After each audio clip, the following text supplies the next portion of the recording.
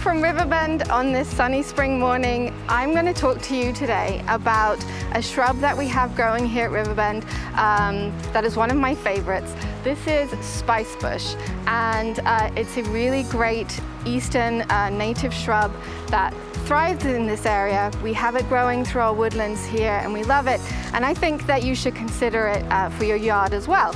This is um, an understory shrub, so it does well in the shade. And as you can see from how it grows, its growth habit, uh, it's quite open, so you can plant around it. It doesn't make too much shade on the ground. And um, it's a wonderful native alternative to invasive honeysuckle or forsythia uh, that has so many benefits for wildlife and for humans as well. As you can see right now in the spring, it has these pretty yellow flowers. They were even more pronounced a week or two ago. They're one of the first things to bloom in the woodlands after a long winter. So they're a really welcome sight for us, but also for early pollinators that might emerge. Um, and the spicebush is a host plant for the spicebush swallowtail butterfly. So it's mid-April and it's just coming into leaf now.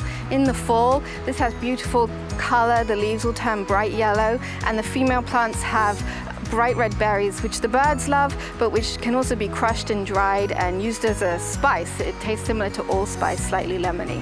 Um, it's a very aromatic plant. You can um, use the twigs and the leaves uh, to make a tea um, and enjoy the ripe berries in the tea as well.